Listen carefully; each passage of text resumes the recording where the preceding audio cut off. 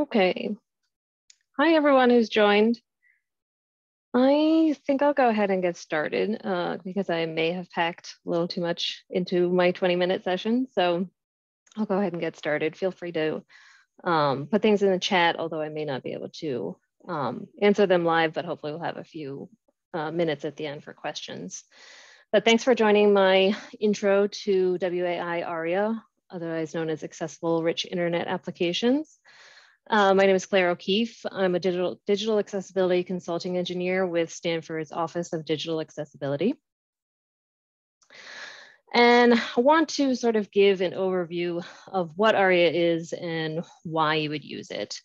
Uh, so the first part of this acronym, WAI, stands for the Web Accessibility Initiative, which is um, part of the W3C, which is the, that international community that works together to develop web standards, including HTML, CSS, uh, SVG, MathML, and ARIA. So the ARIA spec, or it comprises a suite of documents that define a way to make web content and web applications more accessible to people with disabilities. Uh, and what it does is it maps simulated web controls, sort of complex web controls that you may cobble together, to equivalent control types on your platform accessibility API. So this is something that you use uh, when you're creating custom widgets, things that you might not have a native HTML element that really does what you want it to, or that has the functionality that you're trying to achieve. So you add ARIA attributes to your HTML markup to help better communicate the control's name, role, any state information about it, um, to the, you know, to the browser, to the accessibility API with the aim of supporting users with disabilities who are using assistive technology. So let's just walk through that in a little bit more detail. So let's say take the example of uh, a user who is blind and using a screen reading software to uh, browse the web. Uh, so when they are reading and interpreting content on the web, their assistive technology needs to be able to determine what it's interacting with uh, so that it can convey the appropriate information to the user. So this information is supplied by the browser. Uh, the you know web content is taken by the browser, uh, takes the rendered DOM structure, and the browser converts that into what we call uh, an accessibility tree. And that tree is then interpreted by the accessibility API. And the screen reader can then access that information from the API and render it to the screen reader user. So that all got a little bit technical, um, which you don't have to understand to start using ARIA, but I mentioned some of that detail to give a bit of an impression of the sort of hidden workings that are going on behind the scenes when assistive technologies are accessing web content. So making good use of ARIA, at some point, you, it may necessitate delving into the topic of the accessibility API and the accessibility tree to really understand what's going on. Um, and that's a bit beyond the scope of this presentation, but I do have the link at the end where you can um, get, uh, where there's a resource that you can get a lot more of good, good information on that topic. Um, but so just suffice it to know that there's sort of a lot going on when you visit a web page of what's being rendered behind the scenes and how that is picked up and interpreted by assistive technology. So some examples of custom widgets that you may not have uh, an HTML, native HTML control that does what you want would be something like a tab structure. And I've got some screenshots here. One is showing a set of three tabs. Um, and when you would click on each one of those, you would see different information populated below. We don't really have an HTML tag for tabs. Another would be application style menus. So similar to something that you might see like in a desktop application like Word or PowerPoint. Uh, if you're making a web application that has a similar type of menu, uh, again, you don't really have something built in with HTML to mark that up with. I have a screenshot of um, actually the Google Slides menu. So when I was creating this deck, I was trying to find an example of an application style menu online and I just looked right up there and there it is. Within Google Slides, it's a web application, it's all on the web page, but it's giving you the same kind of functionality that you get from a desktop application. Another um, example is a tree structure. Again, I can pull from Google for this. The, when you're looking at your Google Drive on the left-hand side, you have a tree structure that you can drill down through folders and you can drill through files. Again, you don't have a native web component for that. Another would be switch buttons where you're turning something on and off, or a combo box. Again, an example occurred in the Google Slides application when I search through the help. There's a search field in help and there's options populated below that you can choose from. It dynamically gives you a list of options. So that's another thing that um, is hard to cobble together a web solution for that is understandable. So some example ARIA roles that you might turn to for some of those example widgets or you know other roles are uh, ARIA has a role of tab list and with it you would use other uh, elements that are given a role of tab. Uh, for a menu, ARIA can give you a menu. You can add the role equals menu to your markup and then add role equals menu item to the children of that. Sim same type of thing with a tree. You can mark something with role equals tree and add tree items beneath that. Simpler, now those are some complex widgets. Um, simpler roles would be a switch. That doesn't take as much effort and markup as some of those more complex ones. Uh, role of combo box is a pretty complex one. There's a lot more that goes into it.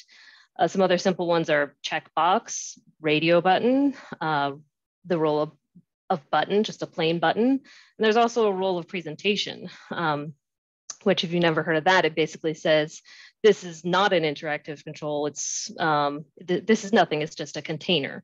Uh, so you could theoretically put role equals presentation on a button element, and you've basically told the accessibility API, this is no longer a button. There's nothing to see here. It's just a container. So these are just some of the roles that you can apply, and I'll give you uh, a little bit more detailed example. So I had a screenshot of tabs. So how can we use ARIA to make that more accessible? So I've got a vanilla HTML markup here. And this is something that you might see in the wild, something similar to this, where you may have a div container. Uh, you may get a class of tabs or something like that. You've got your styles applied so that it looks like tabs. And within that, you've got three buttons so that I could, you could click on each one of those buttons to reveal different information in the sort of tab panel area below. But going back to, let's say, our screen reader user, uh, if they are interacting with this, with their screen reader, this doesn't really tell you that these are tabs. It doesn't tell you what's going to happen when you click on one of these buttons. It doesn't give you any sort of structural or state information. You don't know which tab is currently active, you know, which has the content currently being shown below. So this is where you can sort of bring in ARIA to assist. Now this is just a stub markup, it's not fully fleshed out, um, but just gives you an idea of how you can add ARIA to make this more accessible. So instead of just having your plain old div container for your tabs, you can give that role equals tab list. And then each one of your buttons, you can sort of convert those into tabs by giving them role equals tab. And then there's some other attributes that you would want to add. I've added ARIA expanded. And on the first one, I've got ARIA expanded equals true. That means that I'm currently looking at the description tab. And when you click on the reviews tab, then it would say ARIA expanded equals true on that one. And the other one would toggle to false. So this starts giving um, the screen reader and other assistive technology more information about what this content on the web page is, how to use it, you know, what it does. You can also use ARIA for uh, naming. So this is an example here. I've got um, two sections with headings with a little blurb under each heading and a learn more link under each one. Now, if I were a screen reader user and let's say I was navigating this in, you know, one of two ways. There's one way I can, I could tab through all my links and buttons on the page and I would just hear what each one is called. Another way is I could pull up a list of links or buttons. And in either one of those ways, when that user encounters this, uh, they just hear learn more, which doesn't really tell you where you're gonna go, learn more about what. So you would have to inspect the surrounding content to figure out what is it I'm gonna learn more about when I click on this link. So you can use ARIA to sort of override that link text and add some more you know information inside of it so you could instead of just having learn more now someone might hear learn more about browser plugins learn more about manual testing um, so that's one way you can use aria to make things more accessible. Another uh, labeling thing you can do with aria is using aria labeled by and that's where you can sort of reference different elements on the page that have a properly assigned id uh, to give to sort of um, add a label onto something. So in this case, I've got basically a question of whether, how you feel about ice cream. So it's got a table that says, I like ice cream in the left column, and then you've got three radio buttons, each under a column. So you have a radio button for agree, one for neutral, and one for disagree. So what are you gonna label those radio buttons as? You don't wanna label it each of them I like ice cream because then they're all labeled the same and you don't know whether it's agree, whether it's neutral or disagree. You don't want to label it just as agree, neutral, or disagree because then you lose the context of I like ice cream. So you can use ARIA label by to reference those two different related pieces of text. So the one in the center, the neutral one, I could have it labeled by both the I like ice cream piece of text and the neutral piece of text. So that when I come to this radio button, I would hear with my screen reader, I like ice cream neutral. And that very clearly tells you what you're going to be selecting when you choose this choice. Uh, some other properties that you can use in this case for communicating state. Um, one of the screenshots I had before was for like a switch that you could toggle on and off. In this case, it's a it's a mobile view off. This was in the context of a something uh, I was creating a survey and I was previewing it, and you can toggle whether you want to see the mobile view or not. So currently, it's shown as off. So in this case, you could use if you marked this up with role equals switch, and then you could add on additional attributes to communicate the state. You can add the ARIA checked attribute and give it false because it is currently off when you when someone clicks on it and turns it to on, then that would change to ARIA checked equals true. Now you could also use a checkbox for this, which we'll sort of address later in terms of when to use ARIA, uh, maybe when not to. This could have been done with a checkbox, but you can do it with ARIA.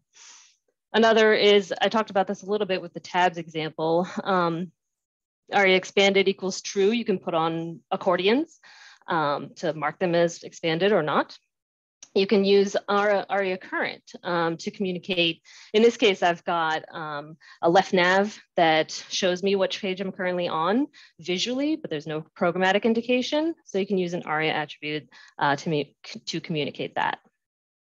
Some rules for ARIA, use native HTML elements and attributes whenever possible. So if you can use a checkbox, use a checkbox. If you can just use a button element, use a button element. There's no need to reinvent the wheel uh, unnecessarily.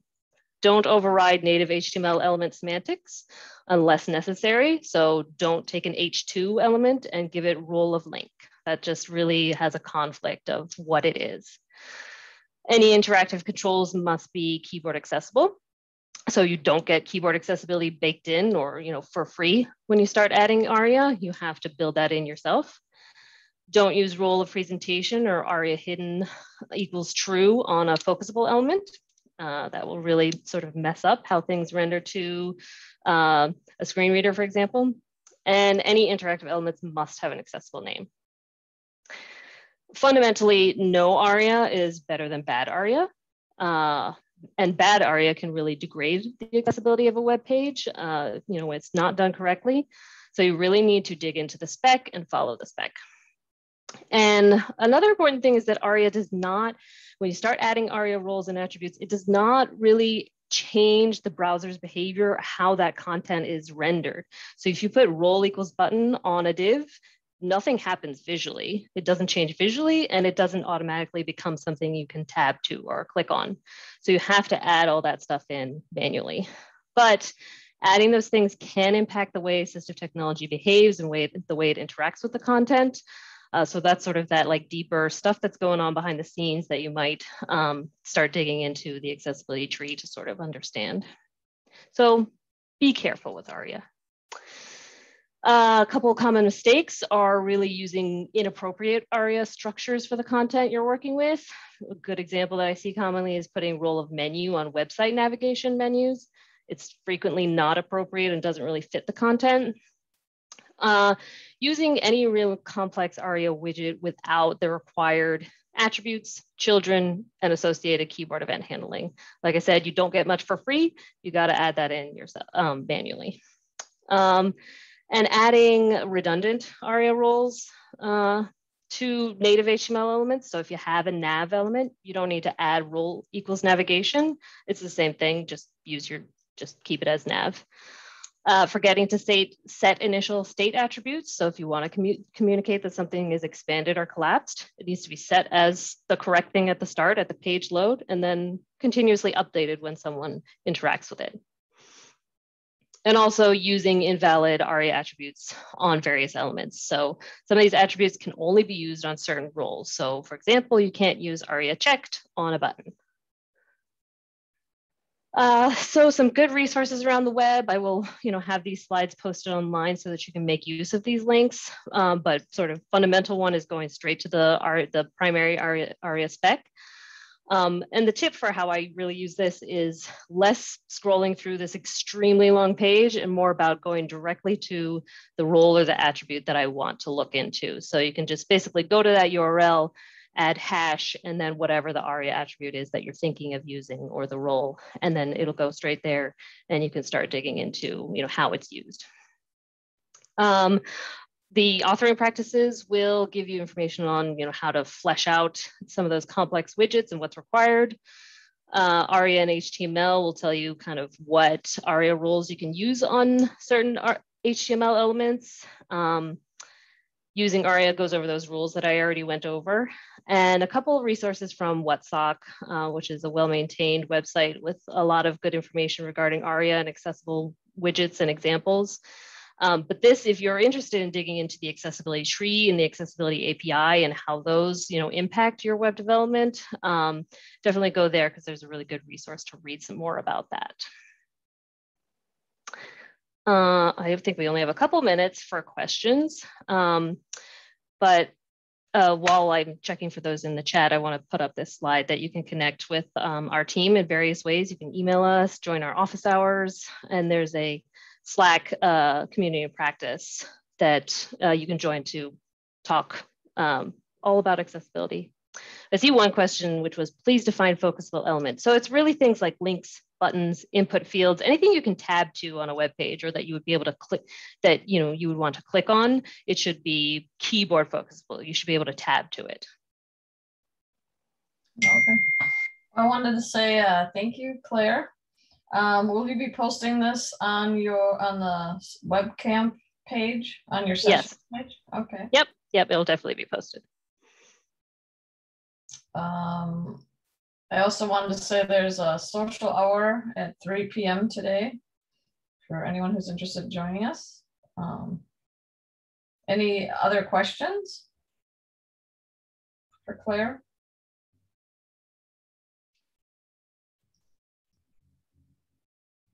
All right. Well, like I said, feel free to reach out in any of these ways um, to connect and go into any of these topics in more detail. Thank you for joining me. Yeah, thank you so much. Bye bye. Bye bye.